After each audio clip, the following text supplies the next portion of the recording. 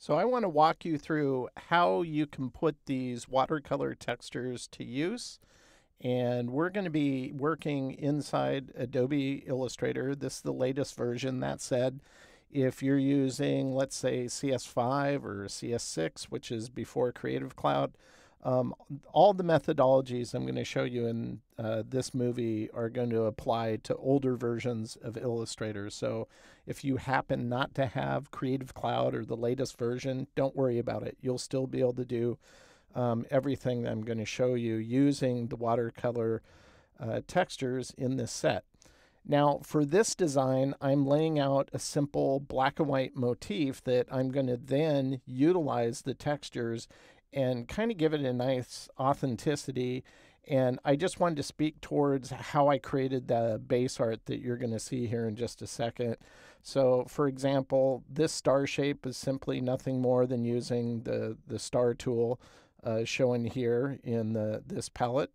And this is just simply a font that was um, um, assigned to a curve, and then I uh, converted it to shapes, two paths and you can see that here.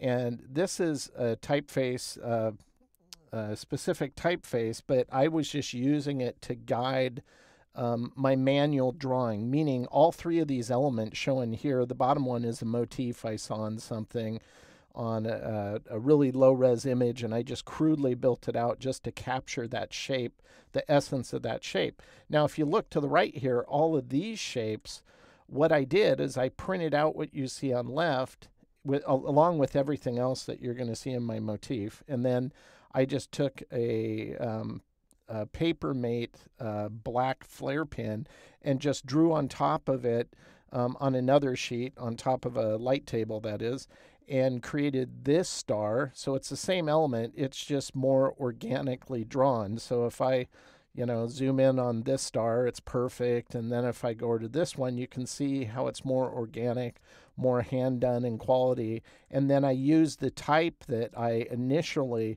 typed out with the existing font I had, and I just use that to hand letter on top of it to make it more distinctly Western, I guess, but more importantly, to capture the essence of kind of that organic uh, crudely drawn uh, form, not a perfect vector shape by any means. And on the motif down below, I just used what I kind of captured uh, from a low res image and then use that to model an exact ornament type shape that's going to be used in my uh, larger motif. And so what I ended up creating is this design shown here. And once again, if I go to keyline view, this is all vector shapes. So none of this is placed images or anything. These are all vector shapes, just simply black fill, no stroke. And I've separated them so I can isolate these shapes. So I can isolate just the type, just this uh, this skull image. I can isolate the name of the town, the ranch word, the star, and all the subtext. So that's important because what we're going to do now is we're going to take these shapes and I'm going to start placing some of my uh, watercolor textures into this file and we'll use these shapes to mask them to give that illusion of watercolor. So let's go ahead and jump to this layer here.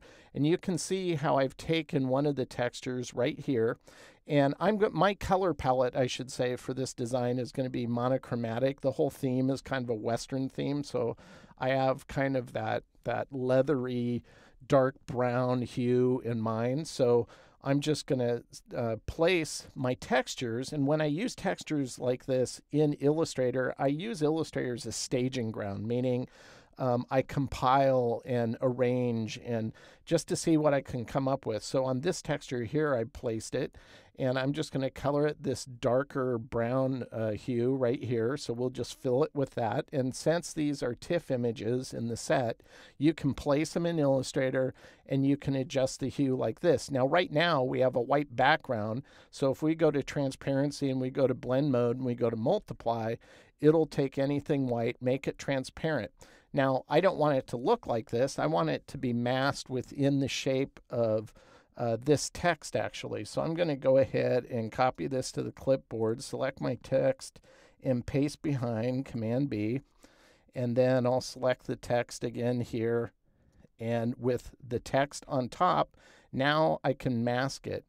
And to mask something, you just go to Object, down to Compound Path, and Make. I have an F key set up, so I can just, uh, I'm sorry, to clipping mask that is, and I have an F key set up for F1. And so we'll click Make, and it likes to warn you when you have a shape with a lot of anchor points. This is kind of annoying. I wish you could have an option to always turn it off, but uh, that's what I end up with is this effect. And so you can see already that with watercolor, you kind of have edges of your art that's going to fade out to the paper because that's kind of the essence of watercolor, whether you're painting uh, wet um, on wet or you're painting um, uh, just the pigment on a dry surface, you can get an established edge. And that's kind of the look and feel we're going for. So we're going to keep uh, moving this forward. So I'm going to go over here and select this one, and I'm just going to slide it over. And this is one we're going to utilize uh, for the background of this design. And I'm going to go ahead and color this one brown as well. But I don't want the value on this one to be uh, a hundred percent value. I want it to be just a tint of this brown color. So we'll go to color. Right now it's a hundred. So I'm going to go ahead and punch in 15 here.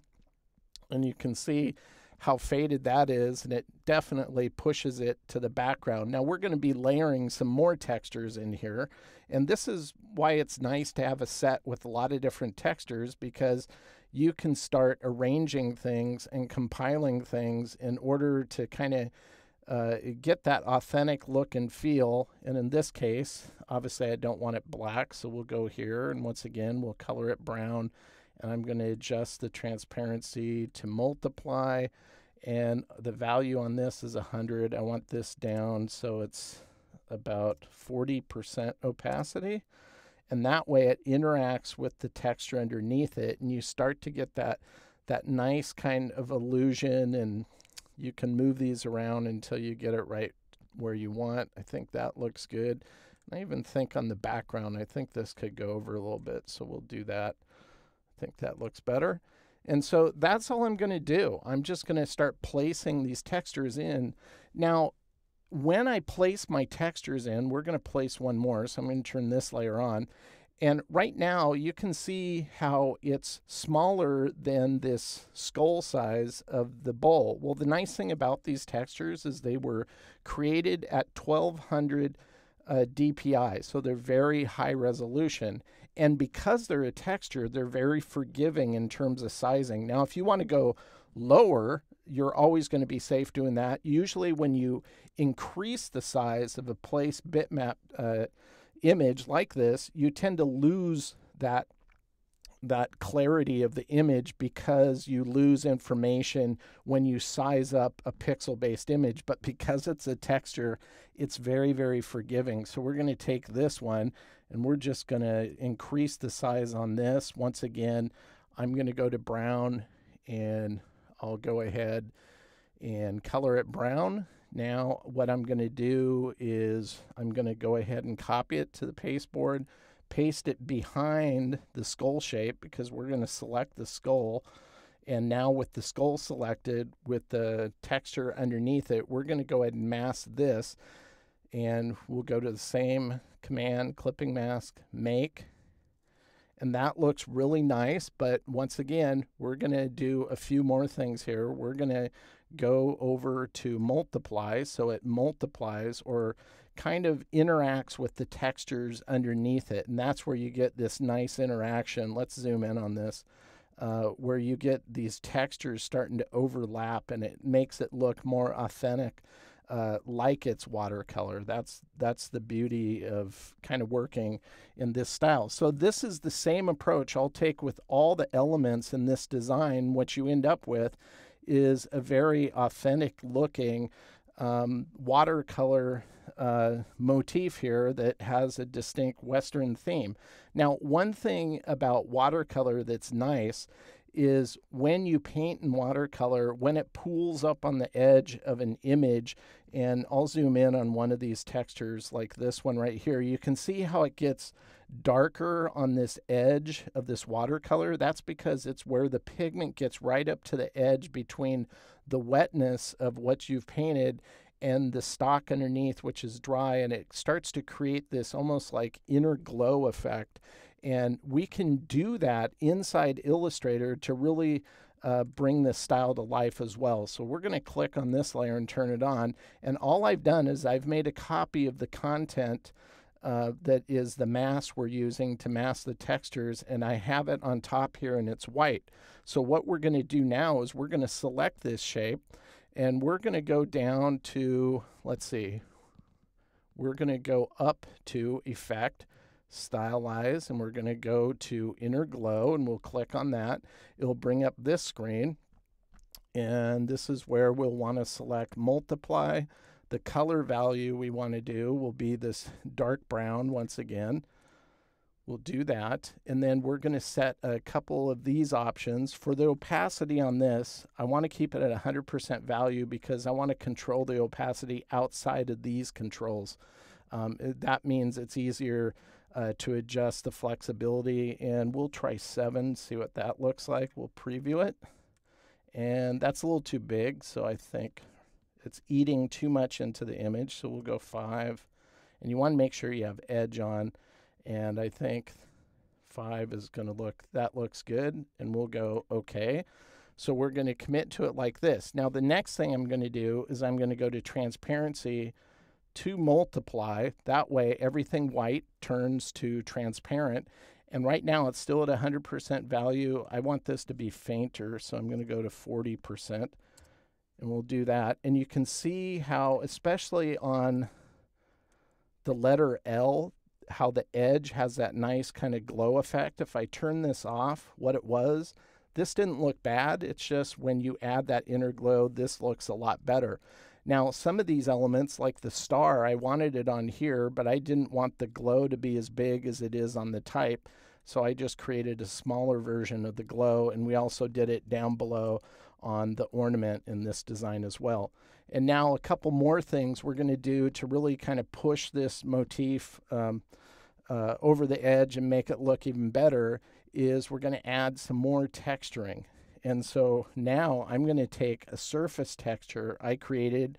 And I actually created this from a friend who gave me these images of old film emulsion uh, sheets that he had found in an old photography studio and he took photographs of them and sent me the photographs. That's what I made this kind of surface texture from.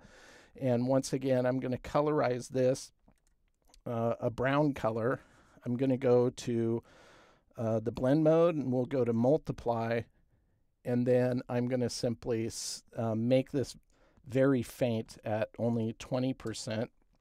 And that's just to add a nice artifacting that runs through everything. So you can see these little flecks kind of running through everything. It just gives it a nice kind of authentic dirty surface. And the last thing I'm going to add is one that I'm adding because when you watercolor, if you kind of fleck water on top of some pigment that's already painted, it tends to kind of eat through the pigment, and then you see whiteness of the stock underneath or the paper color underneath show, showing through and we want to capture some of that authenticity. So this is another texture that I just created with an old toothbrush and some uh, watercolor paint and flecked it on the on the paper to get these specks. And now I'm just going to colorize these white, but I don't want it solid white with no opacity because this looks like snow and I don't want that or dandruff depending on, on what you're reading into it. But for this, we want it to be really kind of faint once again. So I'm going to go down to the opacity and go 45. And I think that looks really good. And if we zoom in on this, you can see kind of the effect you get with this nice little flecking. You have the dark flecks. Now you have the white little uh, flecks. And so it's an imperfect surface. And it kind of ages the whole uh, motif. But that's how I'll go about using uh, these watercolor textures like this. And this is just one example. This is just a, a simplistic, almost a sepia tone kind of theme. You could do any colors you want and use blend modes to mix those colors like you would in traditional watercolor uh, to create any kind of design motif. And I'm going to show you um, how to do that in another movie.